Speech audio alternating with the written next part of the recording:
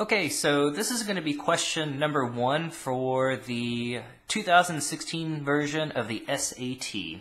And again, no calculators in this part. So this one's not hopefully too terribly bad. It says if the quantity x minus 1 all divided by 3 equals k, and k equals 3, we want to know what's the value of x. Is it 2, 4, 9, or 10? So this is just a basic, just a basic linear equation. So we have x minus 1 over 3 equals, well, they give us that k equals 3, so we can substitute that in.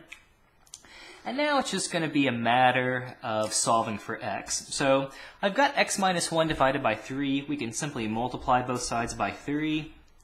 On the left side, the 3's will cancel out, and we'll be left with x minus 1. On the right side, well, 3 multiplied by 3 is going to give us 9. And now to solve for x, we can just add 1 to both sides. And that'll leave us with the value of x equals 10, which was answer choice D.